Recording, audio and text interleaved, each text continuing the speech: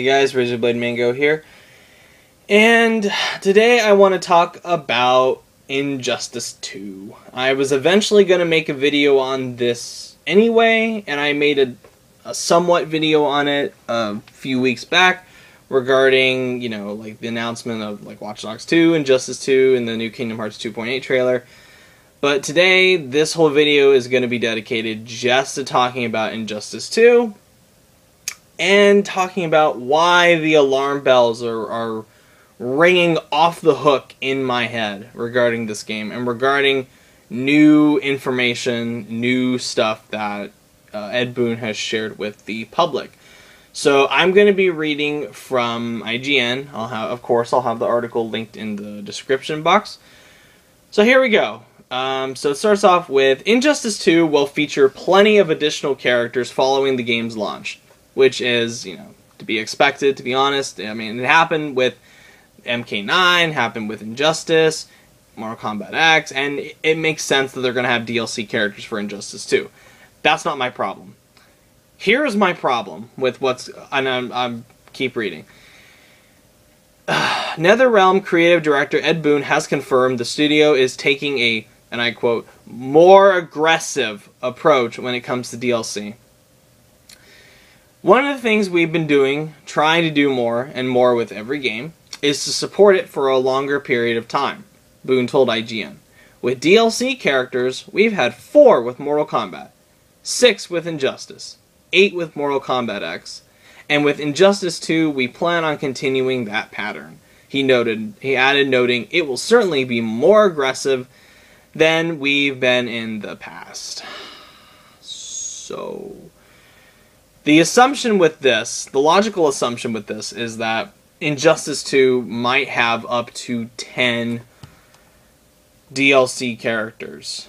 So, and here's my problem with this. Um, first of all, that's overkill. Okay, I, I was fine with Mortal Kombat, the MK9, having four DLC characters. I was fine with Injustice having six. I was very iffy about Mortal Kombat X having eight DLC characters, and even then, they've gone on to say that we might not be done with MKX DLC, even though they've already released the Game of the Year edition for it. So now we're gonna have ten DLC characters with possible, possibly even more than one season pass for the game, which is most likely the way it's gonna be we might that might not even be the limit. We might get more DLC characters. So my problem with this is that one, eh, like I said, it's overkill. 10, 10 DLC characters for a game like this is overkill. Number two, it seems like the only way Ed Boon seems to associate, you know, long support of a game with DLC characters, like paid DLC characters. And he doesn't mention anything along the lines of, you know, free maps, free free characters, free move sets, free modes, stuff like that. I mean, even like Mortal Kombat X, you had the the free fatality packs, and then you had the dumb. The stuff that really pissed me off is that even though if you bought the season pass, you still got to buy extra skins on top of that, which I think is a load of shit. But that this is not about Mortal Kombat. This is about Injustice Two. So, uh, I guess the only way Ed Boon seems to think, or Ed Boon and Warner Brothers seem to think, you know, supporting a community post launch is paid stuff. Which, I mean, if you looked at something like Rocket League, which just recently released a new, really kick ass uh, arena for, for free, if you look at what Doom is doing, and Doom has a season pass as well, yes, but you get new modes, you get new functionality with SnapMap and all. That's free. That's fine. But Mortal Kombat X, I mean, not Mortal Kombat, Injustice 2 seems to be just focused on paid DLC as supporting the community longer. And third, this whole sense of being more aggressive with an approach to DLC. That's that's very very concerning uh, because you know I I, I want to put this out there. I don't dislike Ed Boon. I'm sure Ed Boon is a very nice person in real life. He's had a tremendous impact on the fighting genre. His his status as a legendary developer is not without question. He is, you know, he's a, seems like a cool guy. He runs his Twitter community very well. I like him as a person. I seem to like him as a person. And I don't think this is his fault. I think with a lot of past stuff and a lot of the way the current AAA market works is that you have you sign a deal with the devil when you went to Warner Brothers because Warner Brothers right now is scum. They are scum. They've consistently for the past 2 or so years have in my mind surpassed EA and Ubisoft as like one of the worst developers out there. I mean, uh, publishers out there as far as being shit goes. Like be making really bad decisions, being really shady with customers, dicking people over. So any game that has the Warner Brothers seal attached to it, I have a lot of reservations about. And hearing this come from Ed Boon's mouth and the fact that they've probably whooped him into submission to say these things and to give the game, you know, aggressive DLC practices and the the new gear system, which I'll get to in a bit. But it just it's just sad that Warner Brothers is taking NetherRealm, a studio that before Mortal Kombat X I had a lot of faith in, I, because I thought they they handled Mortal Kombat 9 really well. Injustice, I think, is a fantastic fighting game, and now it's come to this, especially after Mortal Kombat X, which felt like such a huge betrayal and a big disappointment. And with Injustice 2, the sad part is is I really really like the franchise. And I thought what was shown for the game as far as gameplay goes I thought looked really cool and it looked like a lot of fun.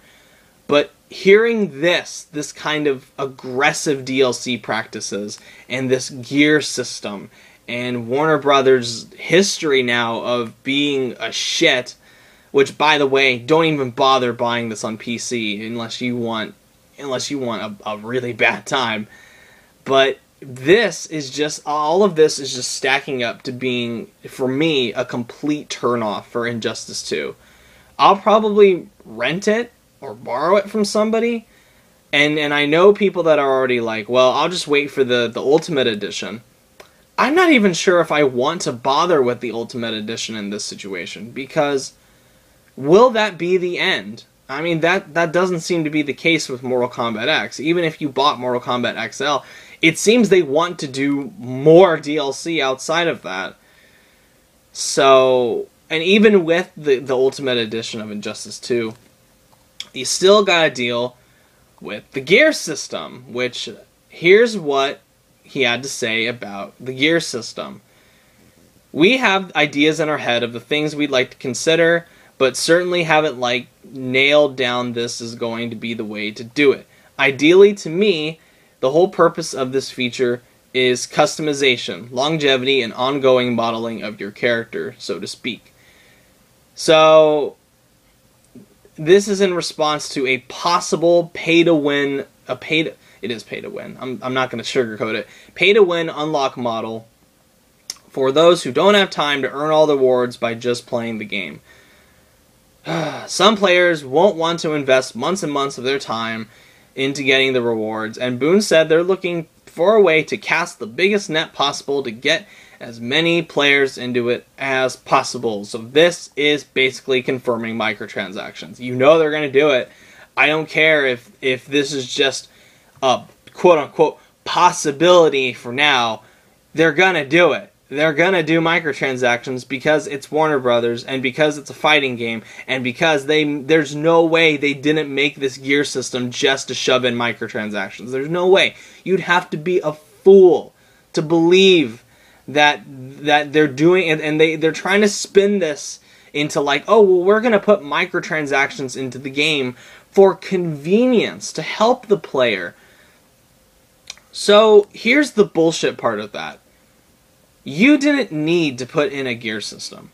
You don't need, and even if you really wanted to even if you had this idea for a gear system before Warner Brothers got involved and said, "Oh, what do you have there? Microtransactions." You know, this game was going to sell. This game is going to sell like fucking hotcakes. Lots of copies because one, it's NetherRealm. People love NetherRealm. It has a very big following. Two, it's Injustice. People love Injustice. Three, it's DC. People love DC. People are going to buy a game with DC in it. So, I don't understand. Actually, no. I take that back. I do understand it. I understand exactly what Warner Brothers is doing with this microtransaction shit. They just want to do the exact same thing that they did for Mortal Kombat X, where, and I've, I've told this story before, but I had somebody, a friend of mine, who I will not name, who worked for a company that I will not name, who owned uh, Mortal Kombat X days before it came out, even like a week before it came out. And he told me he was able to earn the coins a lot quicker, a lot more frequently. But once the game came out, they added in a patch that slowed the progression down to a crawl because they wanted to tempt people to pay for that $20 unlock everything microtransaction and to, to pay for easy fatalities, which again is just a disgusting, demeaning thing to do to Mortal Kombat X. Um, so I can see that. So uh, someone that's willing to do that, and I know their excuse is, oh well, we wanted to have the option for journalists who are playing the game before everybody else to unlock everything before everybody else. What? So so you're paying customers don't want that. Your paying customers don't want to earn the stuff really quickly so they can play with it and have fun with it. I thought that was the idea of Mortal Kombat to unlock all the to, to unlock everything within a reasonable, timely manner just to play everything and look cool and be cool. But no, I guess not. I guess it's now just to give me money right now. You spent $60, you spent $90, spent $140. No, we want more money. Fuck you. And that's the vibe I get from Injustice 2. Because, and I've, I've seen the gameplay from Injustice 2. Like I said, it looked like a lot of fun. But what I saw from this gear system seems to confirm my my biggest fear is that this the the gear system it's not just cosmetic. It has power-ups. It will make your health stronger. It will make your your attacks quicker your defense higher.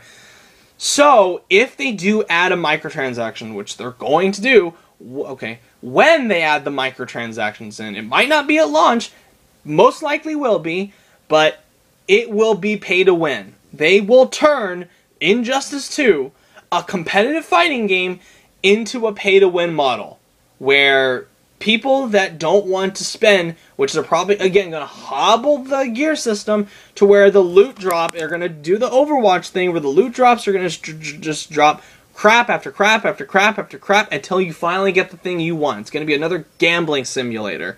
So with this, it's it's pay to win. This isn't like Overwatch, which Overwatch's microtransactions I don't like. Um, but I will give them that they are just cosmetic. They do not affect the gameplay at all. This affects the gameplay. Injustice 2 affects how much stronger the gear system affects how much stronger, how much faster, how much more damage you can take. So, say somebody has like a hundred dollars to blow and they will spend all that money on the game even though they might have bought the collector's edition which will probably be like 140 150 dollars so just to be stronger. They will have bought their their way into being a more powerful fighter because they spent all that money on the extra stuff on the gear loot drops all the other bullshit. So somebody that doesn't want to pay and just wants to play the game normally to unlock everything they're going to be shit out of luck because people are going to have already bought the loot drops over and over and over again with the microtransactions will have gotten stronger and it will have made it will have broken the whole game. You'll have people running around with the highest loot because they bought it. They didn't earn it, they bought it. So and that makes me sad because I I really wanted an Injustice 2 before Mortal Kombat X. When Mortal Kombat X happened, I went, "Oh shit. This this is what they're doing in Mortal Kombat X, I'm very concerned of what they're going to do with Injustice 2." And sure enough, my worst fears are being realized with this talk of aggressive DLC and the microtransaction thing and the, the gear system and all this bullshit. This doesn't look good. And it, uh, my interest in this game is is just quickly dying and I still I still want to play it just to try it out for the gameplay. But the thought of me owning it is becoming a, a very, very unlikely possibility, especially when other stuff's going to be coming in 2017 that won't slow the progression for you to milk you for more money or to include aggressive DLC because for because sixty dollars isn't enough. So it just makes me sad, and it's just it's another franchise, and I, I said this. I told you guys it was only going to get worse when I talked about microtransactions in my top 10 things I hated about 2015. I said it's going to get worse for the microtransactions. In 2016, it is much worse. It's getting worse, and it will probably get even even more bad in 2017. So it's just a shame. And it makes me sad because I actually wanted to play Injustice 2 but I I kind of don't at this point. So yeah, it hurts. It, it it hurts to see to see something that could easily be avoided, easily be scrapped for a more consumer friendly business model is just is it just has to be there now. I guess that's the thing which I, I'm not going to accept that. And I'm already seeing people being complacent with microtransactions and being complacent with gear drops and aggressive DLC because people's will is just being grounded into dust because companies are being much more aggressive about it now than ever. But I will not give in. I will never ever say that that this is commonplace. Uh, whenever I hear that a game is going to have microtransactions in it, my heart just sinks because I go, I go, this does not belong in these games. Like when in Uncharted 4 was revealed to have microtransactions, I, w- I was a little, I was rather disappointed in Naughty Dog um, when it was revealed that Garden Warfare 2 snuck in microtransactions again. Disappointed in PopCap and EA. Um, and now hearing this, I, I, it just it's it's disappointing and it's it makes me sad because I want I want to support NetherRealm. I want to support Ed Boon. I want to support Mortal Kombat. I want to support Injustice, but I can't. I I cannot for the good of my I guess moral code or ethics code cannot support this. I, this this is taking it too far. It's twisting it into something. It's taking something that I enjoy and once again twisting it into something ugly and just sucking out all the life out of it, turning it into an empty husk, and then it will throw it on the pile of empty husk and move on to something else. So yeah, anyway, thank you guys for watching. If you like what you see, subscribe. Let me know what you think of the Injustice 2 business stuff, which should not be accepted. Don't ever accept it. Don't accept anything less than something consumer friendly. So, thank you guys for watching. Have a good one, guys. Take care.